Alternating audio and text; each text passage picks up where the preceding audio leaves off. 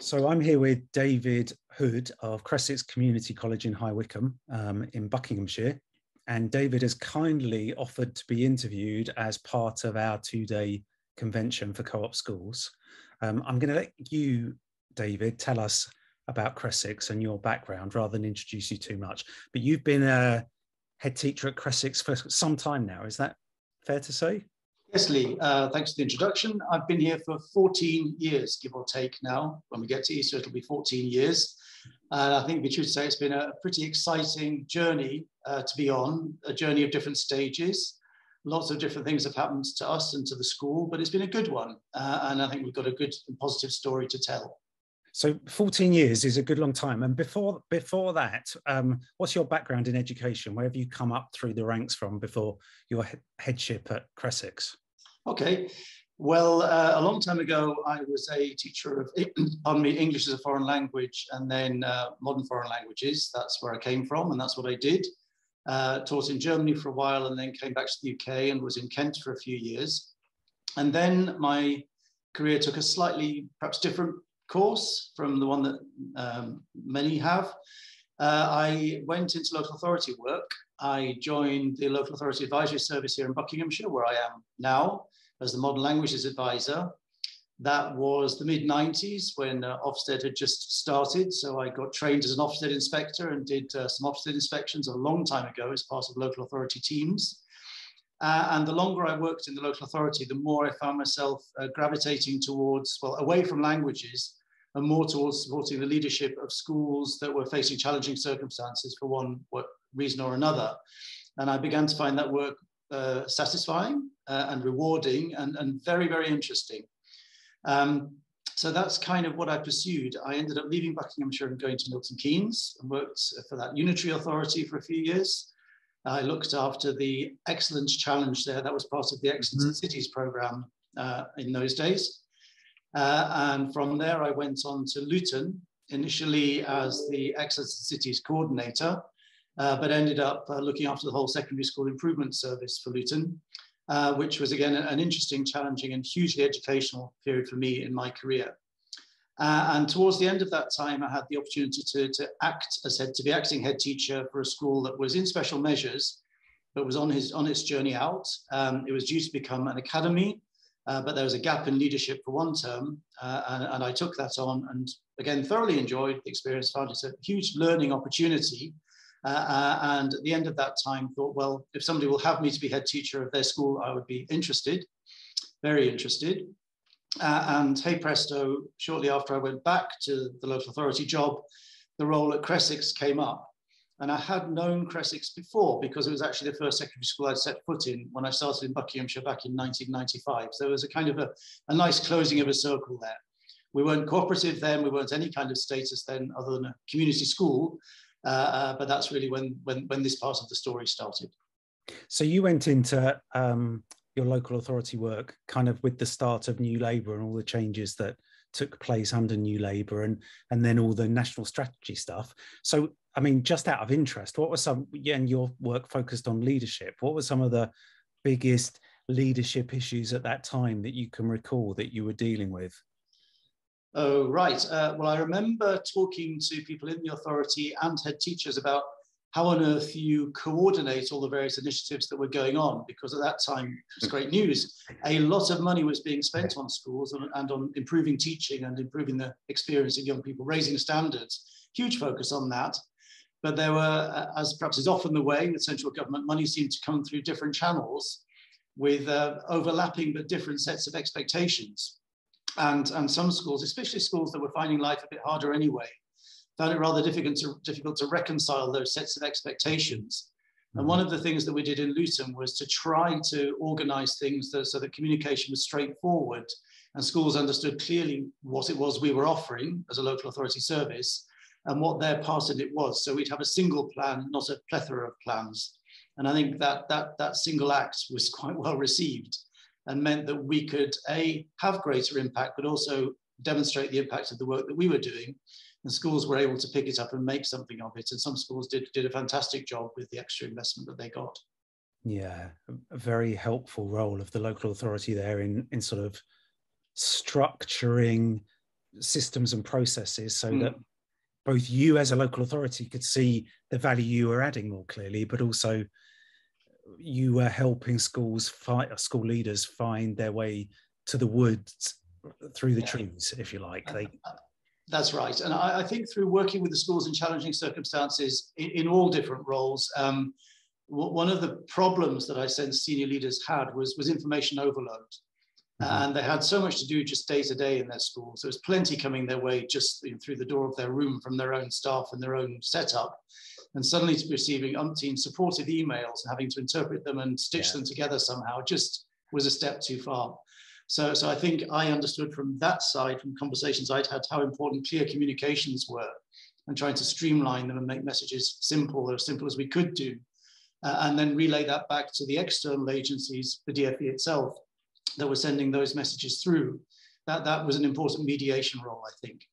Yeah, um, I, I could make an aside here about whether the DFE over the long term have learned lessons about many emails and managing communication, but I think that's for another discussion. Probably, yeah. yeah. interesting. So, um, tell me about tell me about uh, Cressex. I mean, I know you've got some information to share on this. So, the context of Cressex, the background of the school, what it's been like in your 14 years there, that kind of broader picture around Cressex. Okay, uh, let me just share this screen now, or try to. Um,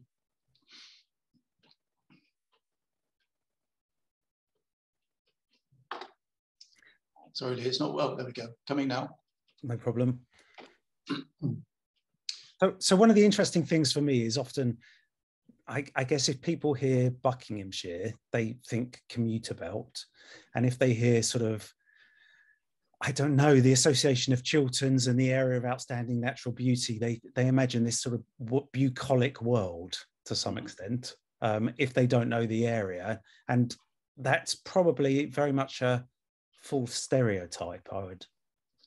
I think, I mean, all stereotypes have some truth in them, I guess, maybe, I don't know. But I mean, there is part of Buckinghamshire that's very bucolic. Um, we are about a mile or a mile and a half away from some beautiful beech woodlands, and Wycombe, where we are, was once a centre of the English furniture making industry, and there's still some residual evidence of that around. so we, we do have leafiness around us, but we are not leafy. We're situated very close to the M40 on the western side of High Wycombe, close to some very densely populated estates. Uh, and we were set up initially, I think, as an overspill school, as a number of schools right. in uh, the, the, the, periphery around London were. As London mm-hmm. filled up, they were looking to, to locate people elsewhere. So the school was built, as it says there, in, in, in 1960, um, built rather rapidly and rather cheaply, I think, uh, uh to accommodate at that time um, about eight or 900, I think, young people who were going to be moving to the area. Um, one of the features of Buckinghamshire uh, that is retained is that it is a wholly selective local education authority. So there are, I think, about 13 grammar schools, some mixed, some single sex, and about 21 or 22 um, effectively secondary modern schools. We tend to term ourselves a non-selective secondary school within a wholly selective area, but in old speak, it, we're secondary modern, and sometimes I feel it's a bit more honest to say that. Yeah. Um, the school was a very popular community school for a, a long period. Um, I'm not sure that educational outcomes were especially high, uh, but it was a school that the community was happy with, and, and I think with a happy and, and, and, very supportive staff to the, to the young people living in the area. Um, as time went on, um, some difficulties arose. There were changes in leadership, and there was some, some unevenness, if I can put it that way, in the leadership of the school, some coming and going. Uh, and fairly rapidly, as is quite often the case actually in non-selective schools within Buckinghamshire, things started to look not too good. Um, uh, schools such as ours need to be stable and need to be in a, going in a clear and purposeful direction. And, and, if they're not, then things can quite rapidly go downhill, we've discovered. Mm. So uh, in the 2000s, the school ended up with effectively three sorts of categorization. Uh, it was a school facing challenging circumstances. Um, that was largely due to the socioeconomic uh, makeup of the community that the school served. Mm -hmm. By then, uh, it became a target school in excellence in cities, uh, and later on in the 2000s, shortly after I arrived, also became a target school in the national challenge. So, so all of these things don't normally happen to schools in Buckinghamshire as a result of the characteristics that you've described earlier on. We're not alone. There are, there are a small number of schools that are similar to us in various ways. Uh, but in terms of any kind of DFE benchmarking group, we, we are not with any other school in Buckinghamshire, with, we're with schools in, in, in Birmingham, parts of London, urban areas in the north. That, that's the way that we tend to get grouped when those groups are put together. Yeah, that's interesting. So, so did you have a, a raising attainment plan at that point in time through the local authority under National Challenge? How was that? Working? We did. Yeah. Uh, so that there, there were plans to do with all of those things. Again, back to the business of coordination. So there was an Excellence in Cities plan yeah. that was run by the local partnership, and there was a raising attainment plan over which we had a fair amount of control. Mm-hmm. Um, as long as we focused on English and maths and doing certain yeah, I remember it well. Yeah. And we had a, a, national challenge partner, school improvement partner, mm-hmm. Uh, who supported us on that. Uh, in fact, we had a succession of them. Some of them knew a bit more than others, and some were more helpful than others, to be honest. So, of course, being in, you know, the, the vocabulary around this is interesting. Being a target sort of suggests that people are shooting at you. And it does sometimes feel like that. But on the other hand, what those projects brought was a very large um, input of money. Mm-hmm. Uh, several hundreds of thousands over the years, from which we enormously benefited. And I think when we look back on it, some of the individual exchanges may have been a bit uncomfortable, but actually it brought very large benefit to us and allowed us to invest in a kind of uh, a value added structure within our school, which is about supporting young people to overcome such barriers to learning as they have. Um, in the old days, it was quite prescriptive. We had to have learning mentors, and there were various other mm-hmm. roles that were prescribed. But uh, over the last decade or so, we've evolved those roles, added others to them, taken some out, and ended up with, with a very powerful pastoral structure, which is focused entirely on A, getting youngsters into school, B, keeping them safe, and C, supporting them to achieve well. Uh, so that, that, that real um, injection of cash was actually very, very welcome. Um, the pupil premium has replaced that to an extent, but to nothing like the same extent. Uh, and you know, if I'm really honest about the way we use pupil premium, it is to keep that part of our structure going because we have to keep it going, otherwise we, we couldn't function. In a later slide, I'll be able to show you some of the impacts of the work that we've been able to do. Um, but it is, uh, and this is a theme that I guess I'll keep coming back to, keeping the place going financially is a challenge um, with the level of support that we think it's right to provide for our young people. And it's interesting you talked about um, that money uh, addressing, if you like, the whole of your school community, because to some extent, some aspects of National Challenge were geared towards certain cohorts of pupils. Um, uh, which now we look back on that, it, it, seems like a very unfair system, doesn't it? Those kind of CD threshold children. But yes. what you seem to have done wisely is think about the equitable distribution of resource for your young people at school. Yeah, I, th- I, think what we learned early on, and actually what I'd learned before I came here, was it's a figure of speech that somebody used in a meeting I was at, and I thought that's good. It's the, it's the rising tide lifts all ships.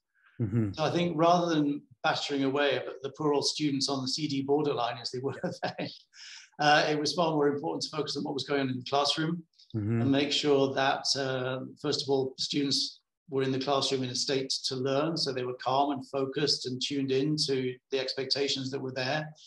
And the teachers were able to manage that and had the skills in order to do high quality teaching. Uh, and then beyond that, we're prepared to offer additional booster sessions and, and, and support sessions to youngsters, which teachers in, in the school have always been prepared to do, but not be particularly exclusive about who they offer them to. Right. Uh, we, we, would, we would always be inclined to look at the data and see if there are any underachievers.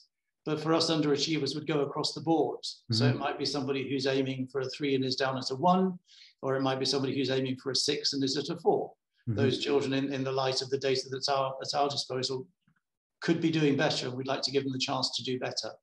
Mm-hmm. So, so that, that became the, the philosophy, really, or was the philosophy from the start, to be honest. Yeah. And so tell me, tell me a bit about your, your uh, student body.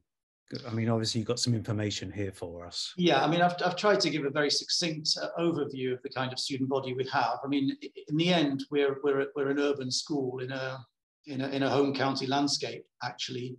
Uh, we are relatively small, and that's deliberately now the case. We are oversubscribed and have waiting lists, and the local authority does occasionally approach us to ask us to take more students. And we have consistently said no. They do try to use the argument that it would bring us more cash, but if you, if you do the calculation, by the time you've recruited the extra staff to, to, to, to provide for those extra youngsters, there's not a whole lot of extra cash in the pot. And we do believe that um, know our, our, youngsters really well and um, to sound a bit twee about it, have some sort of a family atmosphere in the school. Yeah, sure. Uh, does does help us and it, and it helps them. It helps us all to identify with, with what we're trying to do. Uh, we are multicultural. Um, at the last census, I think we were just over 40 first languages spoken. That's probably slightly misleading in that some of those languages are spoken by individual children. Um, the, we, we, the, the, the, majority of pupils here, about 65%, would say that they are English as an additional, speak English as an additional language. The vast majority of those speak Punjabi at home or dialects of Punjabi, but they're also fluent in English and can transact in English. Um, the challenge is to operate in registers uh, uh, and a more literary register in English, and we have a, an English team that really gets that. Uh, a number of them have come from a similar background themselves, and that, that's, a, that's a very strong focus for us. Uh, for the utilitarian purpose of trying to get through exams, but for the far more probably important or equally important purpose of making sure that our youngsters can stand tall and can participate in, in all the opportunities in, in, in life and uh, English speaking society that, that are open to them. Uh, every year we have a number of recent arrivals to the UK with limited English um, from a variety of different backgrounds. We have um, three sisters of Uyghur background who've been with us for about a year and a half. Uh, we've had youngsters from Syria and other places we gladly open the school to more of those youngsters. I, I think as a nation, we should take more. Mm-hmm. Uh, but nevertheless, they, when, when they come, they are enriching and, and, and are, are, are excellent members of our community. Um, we have uh, an above average level of entitlement to free school meals. Uh, and as you can imagine, there are um, selective schools down the road which are the exact reverse of that, and yet we're about a mile apart. So though we're serving in inverted commas the same community, we've, we've yeah. got very, very different profiles. Mm-hmm. Um, we have quite well above average proportion of youngsters with special educational needs on, on SENK. And we've got twice the national average of youngsters with, with EHC plans. And again, we, we, could, we could easily have more because we've become quite a, a center for supporting youngsters with, with SEN. Parents recognize that.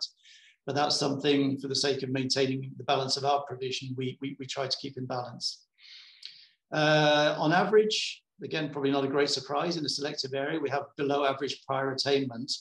And in some years have been well below average um, in English and in maths or in one or the other. Um, the profile is slightly changing, the prior attainment is slightly rising, but it still remains below average. But of course that disguises a spread. Uh, and in every year we have youngsters who are at the upper end of the attainment range. And um, again, that might make one query the validity of the 11 plus because they've sat it and not got through and yet the scores that they show us suggest perhaps they, they could or should have done if, if, if, if that's the right thing to happen. So, so we do have those youngsters at the upper end and we must keep our eyes open for that and ensure that they have all the, the chances that, that, that they need to. Um, there are, and I guess this is true of so many schools, but, but a, a very urban set of issues that we face to do with domestic community and social issues. Mm -hmm. We are, we do make a high rate of referrals to children's social care. It's quite hard to get comparative data, but on one occasion when we did, we were making about twice the number of, of the next highest school in Buckinghamshire. Uh, and we never get our referrals rejected. So we think we're reading the thresholds right. Um, we do refer a lot to CAMHS, We could refer a whole lot more. And I think probably again, as with every school, um, we'd love there to be greater uh, formal provision for, for mental health support for young people. There, there just is nowhere near enough. And and um, related to your last point there, yeah. that has that increased with the pandemic that that need for mental health service provision or uh, yes um, it's hard to quantify but mm. i hmm. think um, the one the, the, young people who are kind of at the, at the more extreme end who needed the, the, the, the, really big interventions i'm not sure that the numbers of those have increased significantly i think that they may become more acute, uh, but they were there before. What we have noticed is a sort of more widespread um, need for general support, youngsters just needing reassurance and work on helping them with their anxieties and, and loss of confidence. Uh, and so we do what we can, um, and I think we do a lot. Uh, but uh, the opportunity to call on more specialist support at times more easily would be very welcome to help with that. so it's interesting looking at what you've been saying here because you've drawn out a couple of equity issues, I suppose, to some extent, in the sense that, first of all, um, you talked about the 11 plus and the extent to which it may or may not be fair given the um, pupils who end up with you who maybe could have gone to grammar school but also you talked about the difference between the the two communities your school community and its needs compared to a grammar school that's very near to you and their needs. So i'm just wondering about the challenge of being a cooperative school in that context. Mm.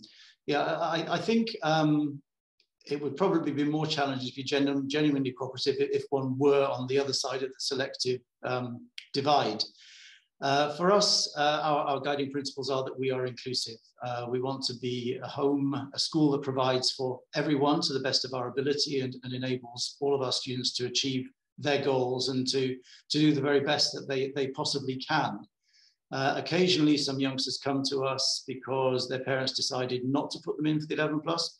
Either that's a parental choice, they don't agree with it, or the child themselves has expressed a preference to come here, even mm-hmm. though there was a chance that they would have got this, got got through.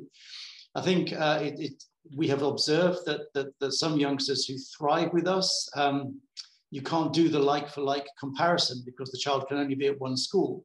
But we are aware that there are some similar children from the same background who haven't necessarily thrived in the other setting. And there are some counterexamples. There are youngsters who have, of course. Mm-hmm. Uh, but there are years when our value added overall is above that of some of our grammar schools, including one of the neighbouring ones. Uh, and uh, we do have youngsters then who go on into sixth form and get uh, very good A levels, if that's what they should choose to do, and then go off to to the selective universities and get very good degrees and come back and tell us about it. So, so we see our roles very much as, as one that provides for, for all members of our community. Uh, and of course, those who are not going to take that path are equally important. Uh, and it's very important that we provide them with the basis of qualification and understanding of the world and ability to, to study further, which, which equips them to make what will be a very important contribution either to the, the, the local community that they may choose to stay in or or elsewhere, wherever they end up going.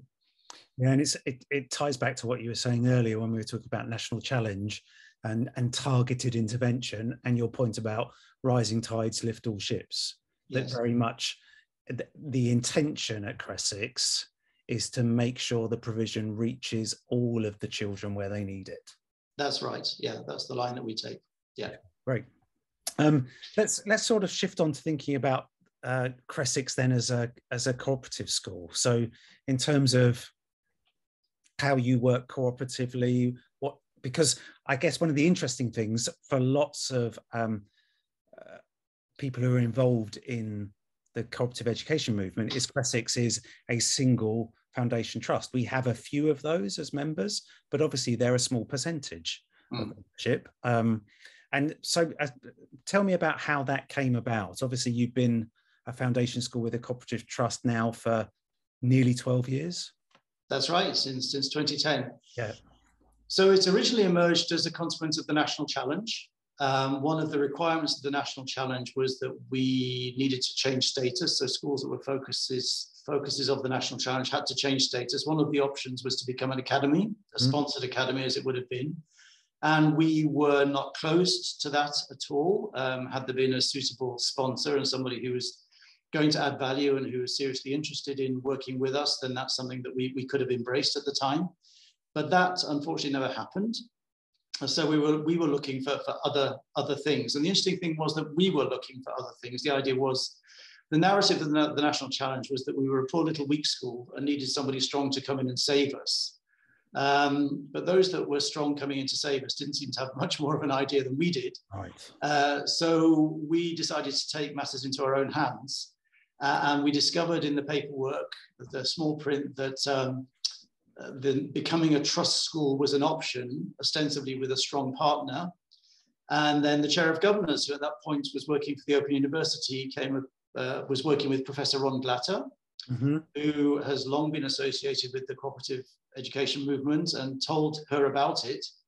Uh, and we found out more and thought, wow, this, this really appeals. We like the values, we like what it stands for, we like the energy. There was terrific energy flowing through the movement at that time, uh, coming out of uh, the Cooperative College in Manchester. And we thought, uh, if, if we can sign up for that, we will. So we spoke to our likely partners, all of whom agreed that this would be a good idea. Uh, and uh, in, in a bit of a rush finally because there was an election, if you remember, later on in 2010. Mm-hmm. Uh, Purdah was coming and all sorts of things were happening. Uh, we got ourselves sorted out and signed the dotted line and became a foundation school with a cooperative trust, which was the option on offer. And that happened down at one of our partner schools, Wycombe Abbey School in, in the centre of town. Uh, I think in February 2010 on a snowy day. and then we kicked off uh, on the 1st of April 2010 uh, and that proved to be a very auspicious day for us. And I think at about the same time, David Cameron was doing his big society stuff, but mm. also speaking in Manchester about the power of cooperatives and cooperative schools. So, although, as you wisely point out, this is often hidden in the fine print, and Ron Glatter, who you mentioned, might actually be listening to this. So, um, he'd know the detail as much as you do about what the process looked like. Um, I think a lot of schools at the time chose this as the best option available if they were in national challenge. That, that's right. And I remember going to conferences both before we converted, if that's the right word, and then subsequently in the early 2010s. And they were always very well attended uh, with a whole array of different schools. And uh, they, they, they were energizing events to go to. They, they, were, they were really good. Um, and it felt like we were part of, um, to use the word again, a family, mm-hmm. uh, a group of people with, with a yeah. shared set of values, uh, and we talked the same sort of language. We many of us faced the same sort of challenges. Uh, and uh, at around about that time, the chair of governors and I went to see a few of the other trust schools that were setting up and learned a huge amount from them. And it's always a very great privilege to go and see somebody else's setup. Uh, and we learned a very great deal from talking to colleagues, governors, head teachers, others who were involved in the process of setting up and how they were facing the various dimensions or dealing with the various dimensions of becoming a cooperative trust school. So at that point, we didn't feel particularly unusual. We felt really, if not quite mainstream, something that people uh, knew about uh, and was, as you say, uh, being very actively supported. Um, uh, our local MP is Steve Baker, a name that mm-hmm. many, I guess, may have heard. Uh, uh, and, and Steve, we, we, we agree with Steve on this point that he's very much an advocate for cooperatives, including cooperatives in education. He's been a very great supporter of, of, of this journey, um, including actually organising a, um, a debate in, in Westminster Hall in the Houses of Parliament, I think it was in 2014, in which he really sung the praises of, of cooperatives, cooperative education, and we got quite a name check there which at that point gave us really quite a boost. Um, you know, it, it's good to be noticed, and it's good that people are recognizing that you're doing something uh, that seems to be hitting the mark. And he was able to say that, I think, in part because a while ago, um, he received a lot of letters from people living in Wycombe saying, I've been told I've got to so much Art of I don't want to. Uh, and the volume of that, those letters diminished. Uh, and, and then by about the mid 2010s, he was getting letters saying, I'd like my child to go to Cressex, but I can't get him in. so, you know, he, there was some evidence there for him that what we were saying was actually bearing some fruit. And uh, and obviously, there's there's not necessarily a causal relationship between becoming a cooperative and this happening, but there must be some sort of correlation. I just want to wind back to something you said about uh, national challenge and the conversion process, because the point you made there, David, was it was almost like uh, it was considered we needed to be done to at that point in mm-hmm. time rather than being able to make the decision for ourselves and obviously one of the most significant aspects of being cooperative is this sense of self-responsibility yeah. that you you um, you are accountable internally to each other and to the wider family of schools or the connections that you have but that doesn't necessarily mean there is an external someone who is the key agent of change. That's correct. I, I think you've got to retain some humility. One has to. We have to retain a measure of humility on this. We we don't know all the answers, But uh, in our school, we sit in the community that we serve. We have a lot of uh, people directly from the community working in the school. They, they understand this part of Wycombe. they understand the issues. Uh, uh, and a lot of the people who came through the door in the early days were full of good intentions, but they weren't really speaking a language that, that made a whole lot of sense to us. So it wasn't a question of just giving them the cold shoulder and sending them through the door, but it was a question of, of listening, nodding, smiling, and saying, fine, uh, but there may be another way of looking at this, uh, and we will argue for it, and we will demonstrate, and we will we will stick to our principles. And of course, if, if it fails, it fails, and we'll pay the consequence. Um, but we, we did believe, firstly, that you know we were paid to be in charge. We wanted to be in charge, so let's get on and be in charge. Uh, but also, um, it could be argued that the kind of community we serve generally is a sort of has been a bit of a done-to community. Mm-hmm. And if one of the messages we're trying to give and spread through our community school is that we stand on our own two feet and we stand for ourselves and make our own future, then, then us modeling that to an extent and bringing people on board and showing them how it's done, that has had, I mean, whether it was as conscious as that at the time, it's hard to say, but I think right. that there was an element of that in our thinking. Uh, uh and um, we do stand tall now. Uh, and, and, and, the building, you know, you can see the picture there of the lovely new building that we got in 2010. The old building wasn't like that. It was a very low structure and kind of huddled rather sheepishly behind some tall trees. And now, you know, we, we stand rather proudly on the top of the hill. And that's the way we like to envisage ourselves, that we're at the, the center of the community and model certain behaviors for the community. And um, the community joins in and all of that, I think, is, is a good thing. Yeah, I mean, it sounds like you've described, if you like, some of the unique selling points or what makes Cressex stand out there. So that emphasis of being rooted in the community, but like a, the beacon on the hill at the same time. Um, the fact that you have a community that has felt done to, but the way you work builds and gives agency to the community you serve seem very significant. Are there any other uh, of your unique cooperative points that you'd like to say? Well, you haven't mentioned this one, Lee Phillips. What about this? I mean, I wouldn't like care to say that these things are, are unique because I, I, know these things happen in all schools, but we, we do try to, you know, demonstrate social responsibility again through the work, primarily with our, with our own youngsters and with their families. Uh, we do, I think, I hope, show that we, we care for others similarly, uh, and also internally where people are going through tough times. And of course, COVID has been a tough time for many, including those on the staff some of whom have lost um, family members. And of course, if we know that there were, uh, the data seems to suggest, I'll put it that way, that there were certain groups in the community who in the early days of COVID were more susceptible to it and more likely to suffer serious illness and die. Uh, and it is certainly the case that some of our colleagues lost um, parents who maybe weren't that old to COVID in, in, the early days. So we've done what we can to, to care for them as best we can. Uh, we try to be as, as, open as anybody reasonably can running a, a, public organization, and we try to be straightforward and honest about what we do. It doesn't always make, our, make, make us friends, we've discovered. Um, you know, sometimes dishonesty seems to be valued more than honesty. Or, but uh, I think on the whole, it's, it's, it's better to say things as straight as you can. Uh, mm-hmm. because then everybody knows where they stand. And if that means they're going to start pushing back hard, then at least that's a position as well, rather than everybody pretending that they agree when actually they don't. Yeah, and and you talked about the word family being potentially sounding twee, but actually what you're talking about is a fairly robust family here, mm. because you're talking about a degree of challenge, but also that support. And given the the community um, you have and the community that that sounds like it makes up your staff body too, we haven't touched on that. I realise now speaking to you the the impact you're talking about with the pandemic. That's right. So of course in, not just our staff but a number of our students have been similarly affected with yeah. really parents who really aren't any age at all having succumbed or become really very ill. So um, so all of these things have been you know things that we've dealt with as all schools have in the last couple of years or so.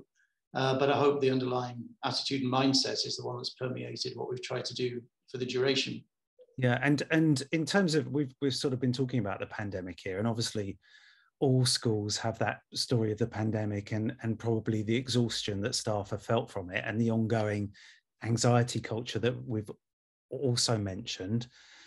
It's it's very hard for me to segue into positives from the pandemic because it seems like um, seems a bit specious to try and draw that out. But nonetheless, you've probably made some changes that are beneficial in one way or another. Well, I, I think it is possible to segue that way because um, I'm going to flip to the next to a uh, just take us through a couple of slides. So um, here you go. This this this is so for we have all the cooperative values that we can list, um, but I think they're quite nicely expressed in this, this one phrase that is not an invention of mine. I nicked it from a school in Luton whose work I enormously admired.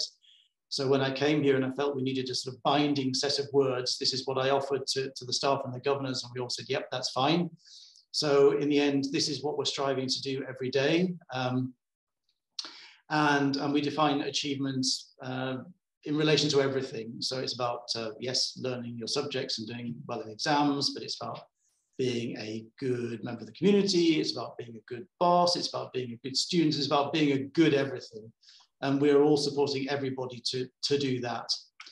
Um, I was just busy enjoying those smiles of delight. Yeah, okay. Do you want to go back?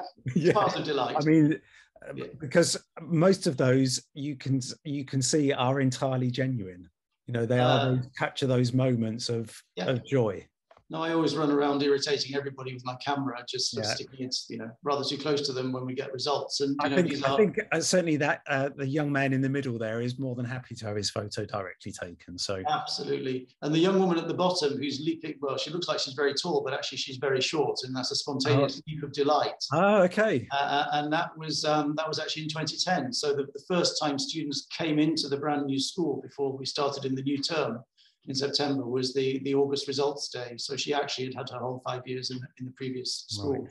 Yep. So, so that's kind of our binding thought, really. That's, that's what we're striving to do each and every day.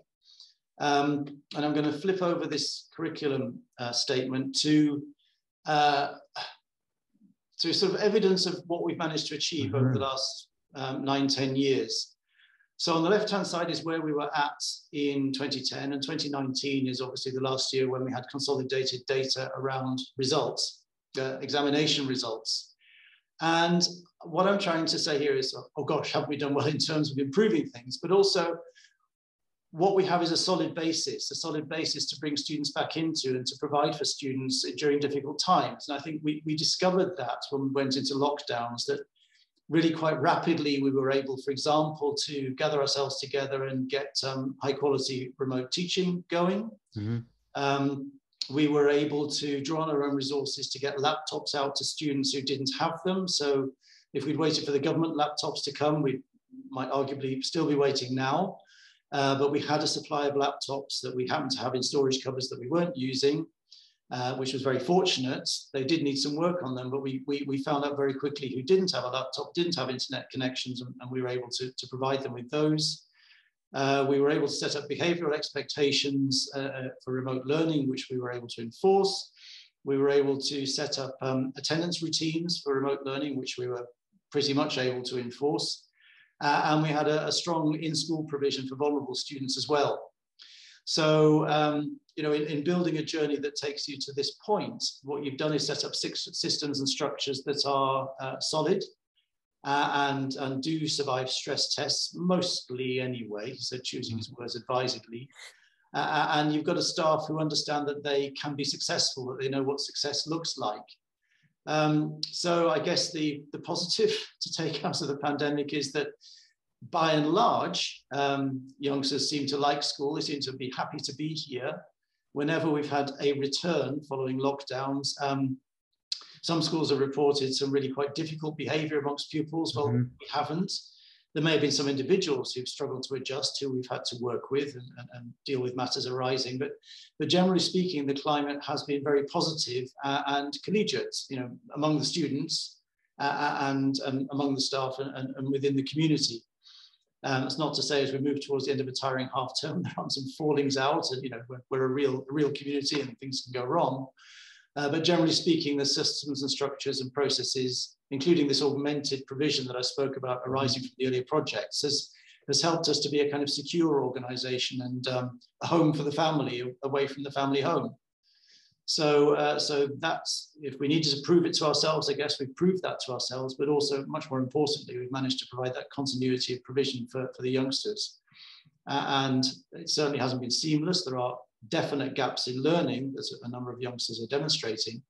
Um, but they have come back into lessons and, and they've, they've, they've, they've got going, uh, and teachers have got going very well, supporting them too.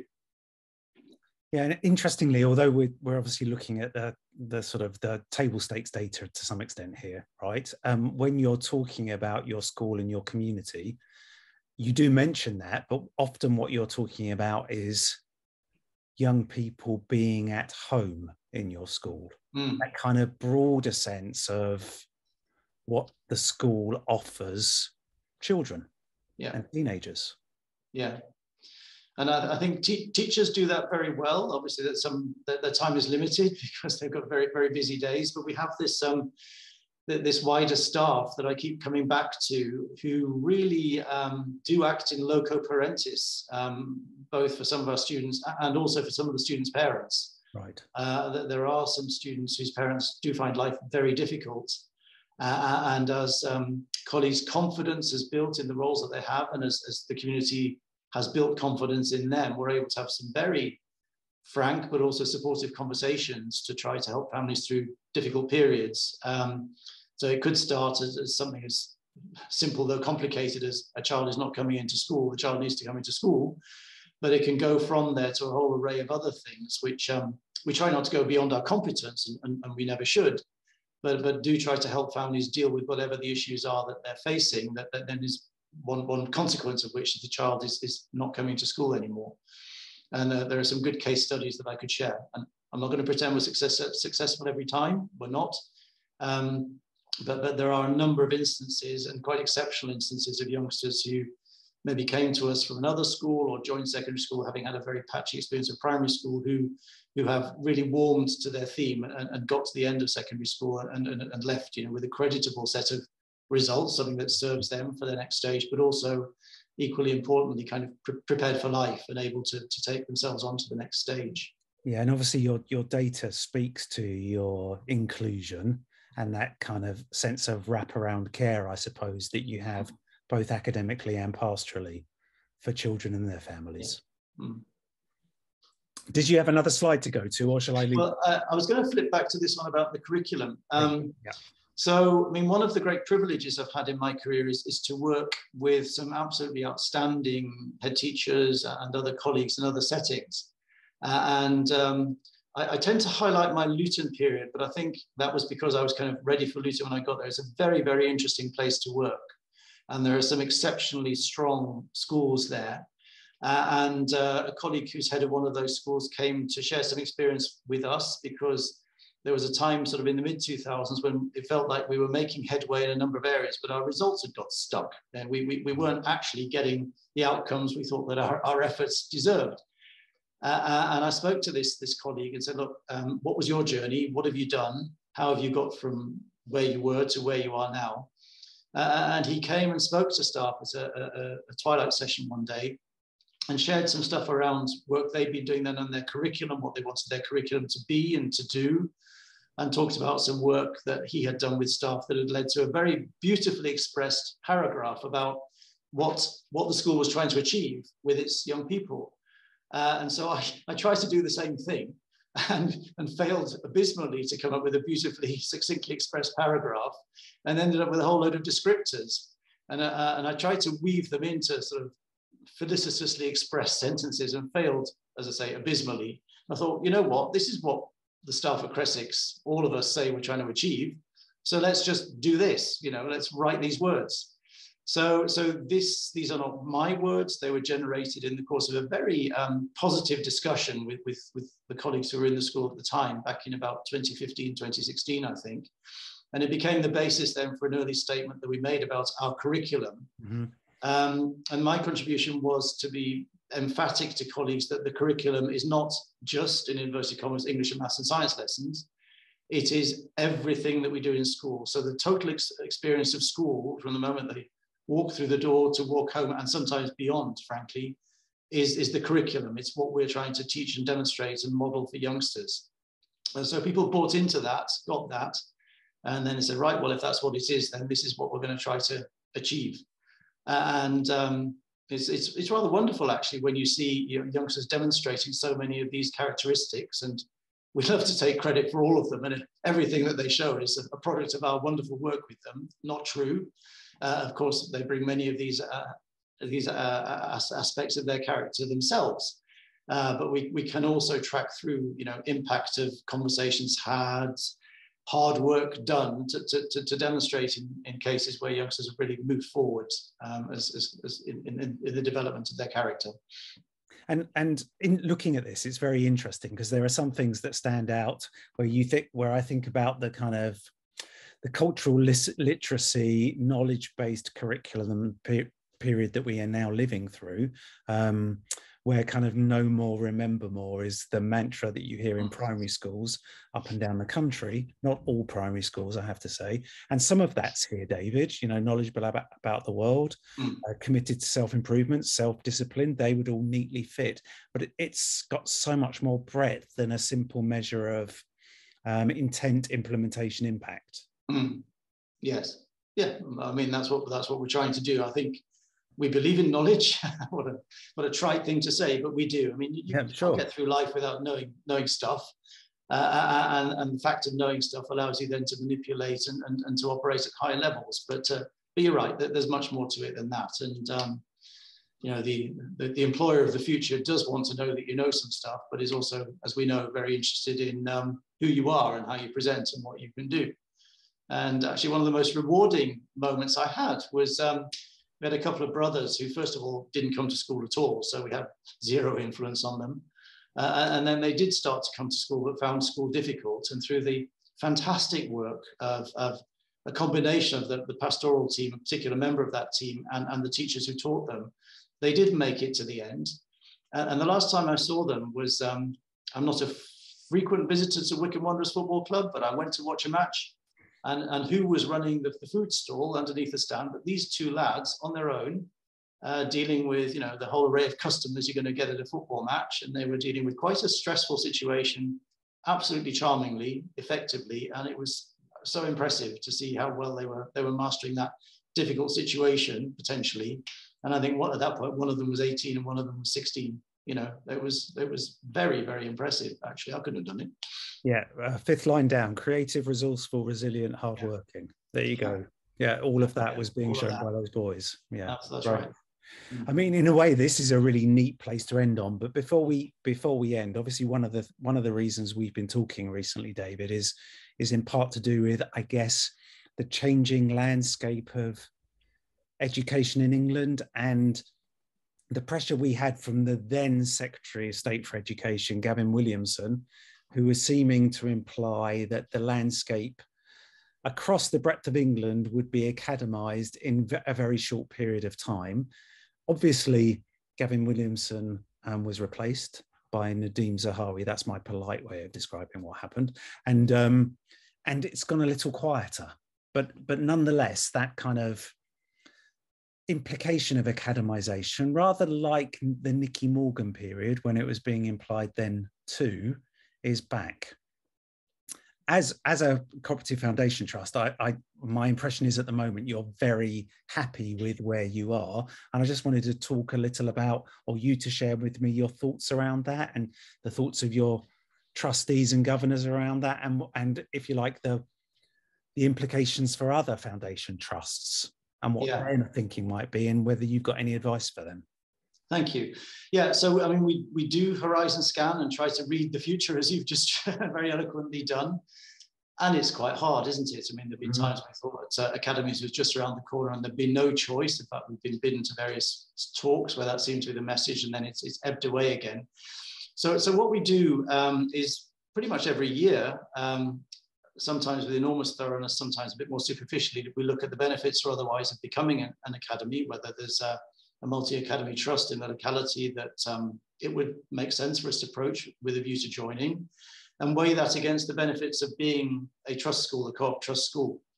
And I suppose we're slightly biased in the sense that we we, we, we work towards creating the co-op trust in the first place, but but we cannot see the benefits of other things over and above what we have now. We've got a really strong committed partnership of, of within the trust. Um, there, there is another, there's an independent school who are a, great um, friend, colleague, supporter. They, they, they, that's Wycombe Abbey School. I've mentioned them already. Mm-hmm. There's the local university, Bucks New University, to which an, a fair number of our students go and who provide excellent um, experiences and opportunities to, to gain insights into higher education. Uh, there is Henley College, a sixth form college over in Oxfordshire, which, which many of our youngsters will go on to uh, post 16. Uh, there's the cooperative college itself, there's the local authority, so and, and there's a, community member too. and, and that's a really strong group um, who've stood by us through all sorts of um, sometimes vicissitudes, but also, of course, the good times. and not just you know in a distant way, they've been there in, in person and they do provide fantastic opportunities, those that can, for our young people, from which they, they really benefit. So we just think for as long as we can hang on to it, let's hang on to it. Uh, and um, we are trying, uh, hope we'll have some success to, to through Steve Baker to, to, influence thinking in terms of whatever white paper might be being thought about um, uh, in Westminster at the moment. Uh, to say, look, you, you valued diversity in the past. You've told us how important it is to have a diverse system.